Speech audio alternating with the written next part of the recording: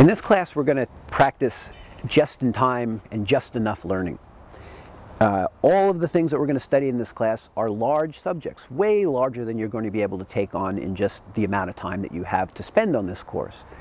So my theory, and this, and this is a theory that I've, that I've really worked out over many years of doing many different technologies, is learn just enough. Learn just enough of the mechanics, of the syntax, of the, the technicals of the, of the tool set you're using in order to make something happen.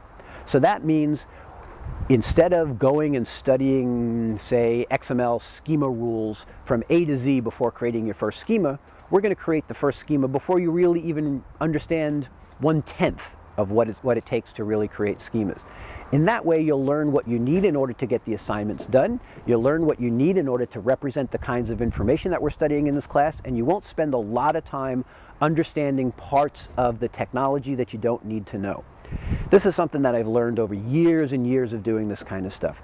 If you start out by saying, I'm going to become an expert in this subject before I begin to use this material, you'll never get to use the material because the subject is too vast. Instead, you have to take the, the outlook that I'm going to learn just enough in order to make the thing that I want to have happen, happen. And no more than that. Because A, there's too much to learn, and B, it's not useful for me to know a lot of things that um, I'm not going to apply, that I may never apply. On the other hand, the other side of that, of that, of that attitude is when it comes time for me to learn something, I will learn it. I will find out, I will figure it out, and I will figure out how to make it work. Make it work just enough to make sure that what I need to have happen happens, but make sure that I can learn it. So you're not going to learn everything there is to know about XML in this class, but I will teach you enough that you'll be able to represent many different kinds of information and that you'll understand how to use that tool set. And then I'll expect that when a new concept comes up, you'll have the wherewithal to go and figure out how to make it happen. That's an attitude that'll keep you sane not only in this course, but throughout your career using different tools. Because as soon as you learn a tool, as soon as you learn a technology, as soon as you learn a programming language, as soon as you learn an API, as soon as you learn any of a vast array of different kinds of technologies that you're going to be called upon to learn, it goes out of fashion and a new one comes in.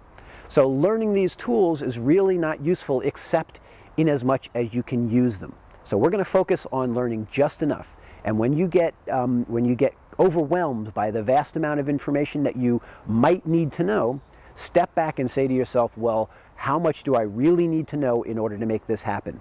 And understand that all the things that you really need to know are somewhere covered. There should be very, very few times where you have to go out to, uh, say, Google something and figure it out from scratch. There will be some times when you'll have to do that, but more often than not, the thing that you need in order to solve the problem that's presented to you in this class has been presented somewhere before.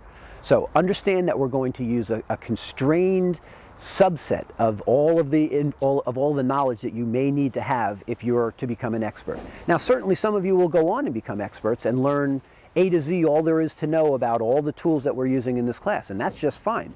But the vast majority of you won't. And the vast, what the vast majority of you will do is learn this now and then promptly forget it. But you need to be able to recover it. You need to be able to figure out how to get something done when you need to get it done. And that's the attitude that we'll take in this class.